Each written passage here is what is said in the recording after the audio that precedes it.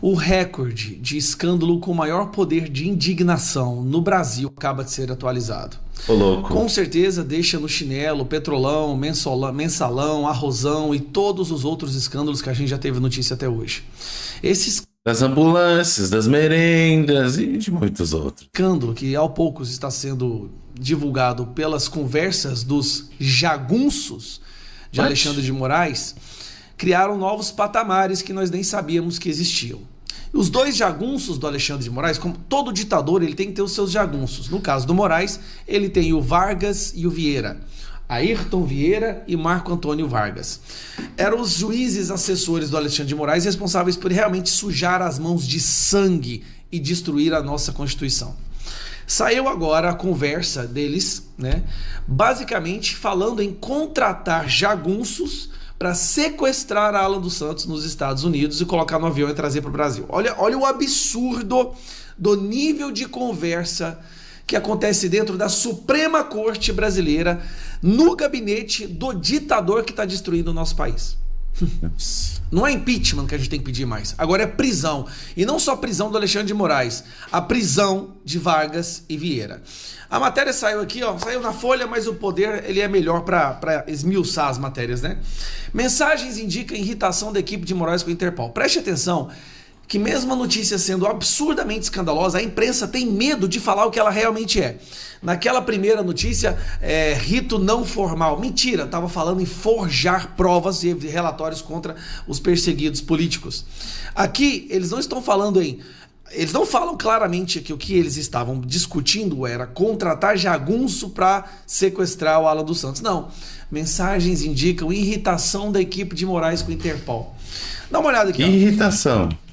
Aqui, se você quiser pausar, você pode ler toda a matéria. Eu vou ler apenas a parte das conversas que aconteceram entre é, Ayrton Vieira e Marco Antônio Vargas. Né? Tudo isso da perseguição do Alan dos Santos, que foi o primeiro foragido político, o primeiro ah, perseguido político que teve sua prisão decretada. Vai lá, peça para o Ayrton falar com a Polícia Federal sobre o alerta vermelho. O alerta vermelho é que eles queriam colocar o Alan dos Santos para ser preso pela Interpol e para ser extraditado nos Estados Unidos, né? Ah, continuando, pegar a próxima aspas aqui, foragido, tal, tal, tal. Aqui, a próxima aspas.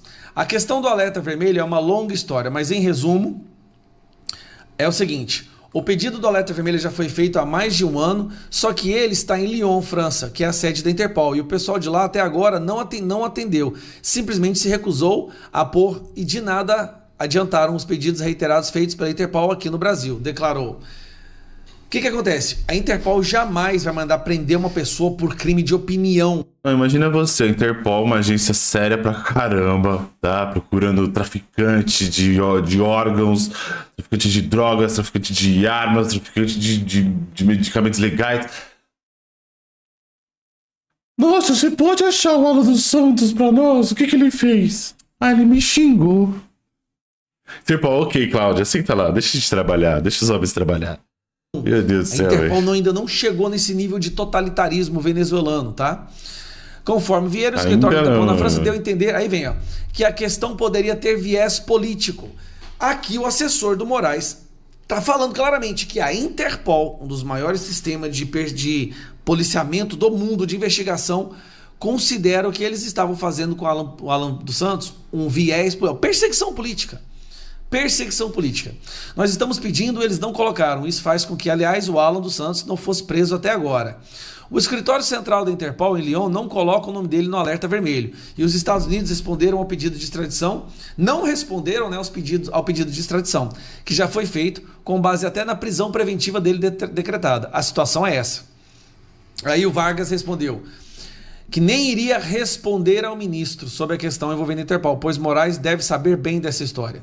Vieira então declarou: Sim, conhece essa história em detalhes, não se conforma com toda a razão, mas nada podemos fazer quanto a essa questão da Interpol, assim como com a questão da extradição. Tudo que podíamos fazer foi feito, seguimos todo o trâmite, mas a Interpol em Lyon engavetou o pedido de alerta vermelho dos Estados Unidos e não resolveu a questão da extradição. Difícil. Em uma outra mensagem, Vargas classificou como sacanagem as atitudes dos Estados Unidos da Interpol. Com certeza, por isso esse idiota do Alan dos Santos se sente livre para fazer o que faz. Dá vontade, Aqui, meu amigo. Tá aqui, ó. Dá vontade de mandar uns jagunços pegar esse cara na marra e colocar no avião brasileiro. Aqui eles estão falando, os juízes da Suprema Corte, assessores auxiliares do ministro Alexandre de Moraes, estão falando que a vontade deles é cometer um crime. Um momento, vocês acham que o Alexandre de Moraes sabia de tudo isso? Nesse momento, o Alexandre de Moraes tá assim, ó. Assim, ó, não passa um fio, tropa. Sabe por quê? Porque ele não faz ideia do que bosta mais esses malucos falaram. Assim, eles falaram de jagunço, mano. Vocês queimaram meu filme, velho. Vocês queimaram meu filme! Tá até metido! Imagina, Alexandre de Moraes tá pistola, velho. É sequestrar uma pessoa que, Que está delícia. como refugiado nos Estados né? Unidos e colocar no avião. Sequestrar. É bom, gente. Eles Deus falam é bom, em né? sequestrar abertamente. Imagina se fosse um de nós falando em sequestrar o Alexandre de Moraes. Ah. Se fosse qualquer pessoa Ah. comum falando Tava em morto sequestrar o já, Alexandre um deputado, um senador, estaria preso imediatamente. Morto. Aí vai. Na forca. Se eles quiserem te mandar embora porque não gostaram dos seus olhos, eles inventam um pretexto. Qualquer e colocam você no primeiro avião de volta e o deportam, extraditam. Dão pé no traseiro, o nome que você quiser, mas eles fazem o que eles bem entenderem com quem eles quiserem. Do contrário, não há governo no mundo que determine o que eles podem ou não podem fazer. Eles têm o tempo deles, o interesse deles, esse é o problema todo, essa é a questão. E completou: se para nós o Alan dos Santos tem alguma importância, para eles a importância é zero. Então eles não vão comprar uma dor de cabeça com o governo do Brasil, em que pese o governo do Brasil ser da outra orientação. Talvez a partir de 1 de janeiro, no básico, com 23, com a posse do Luiz Inácio Lula da Silva, a coisa mude. A não ser. Ah, não mudou, hein? Procurado Amém. pela Folha, o Alexandre de Moraes diz que todos os procedimentos foram oficiais, regulares, estão devidamente documentados nos inquéritos de investigação. de- Ou seja, para eles, Tá falar em documentado de sequestrar jagunço. Tá assim. um cidadão que está como refugiado nos Estados Unidos é totalmente oficial, regular e está devidamente documentado nos inquéritos. Isso aqui é um escândalo sem tamanho. E aí, vamos lá, agora para terminar, olha isso aqui. PF vai usar novo argumento para pedir extradição de Alan dos Santos. Tá no Globo. Aí tem um artigo todo lá no Globo e o final, olha a admissão deles. A avaliação da PF, a avaliação da PF que o novo pedido de extradição de Alan dos Santos tem mais chance de prosperar do que o que está sendo, do que está parado há mais de um ano com autoridades dos Estados Unidos. Isso porque a demanda anterior se baseia em crimes como calúnia e difamação eles estão admitindo que tentaram colo- eh, pegar extradição, prisão, extradição e colocar o nome dele no alerta vermelho do Interpol por calúnia e difamação.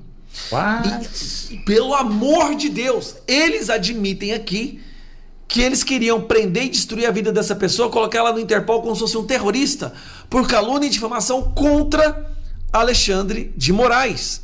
E continua, na visão dos norte-americanos, esses delitos são tratados como crimes de opinião e não costumam justificar extradições. Não é na visão dos norte-americanos, é na visão de qualquer pessoa minimamente decente do mundo. Prisão, extradição É Interpol isso, por calúnia e difamação, pelo amor de Deus. O que falta para esse cara ser retirado de- imediatamente da Suprema Corte? Até um tempo atrás era conspiracionismo Eu vou te falar o que, que falta: um partido, deputados, senadores. Dos bolsonaristas. Três coisinhas Os, que a gente jagunços dele estão falando em sequestrar uma pessoa por calúnia e difamação. Deputado que não assinar o pedido de impeachment, ó, mais uma vez, vou falar mais uma vez para todo mundo ir lá.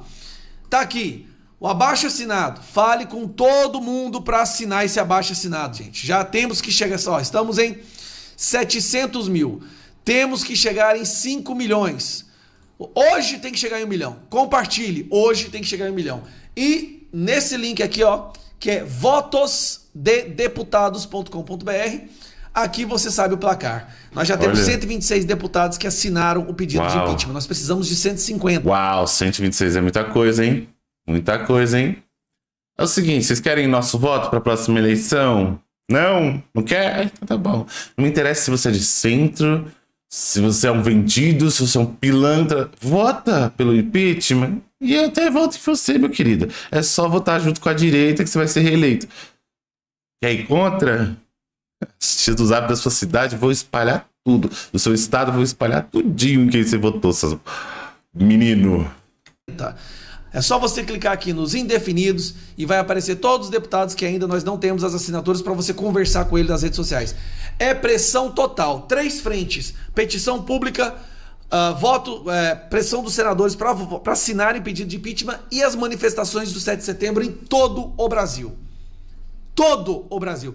Isso não pode passar impune. E vem mais, Alexandre de Moraes. Vem mais bomba mostrando os crimes que você e seus jagunços capangas cometeram. Vídeo do Gar na descrição pra vocês fortalecerem no like. E até a próxima. Tchau, tchau.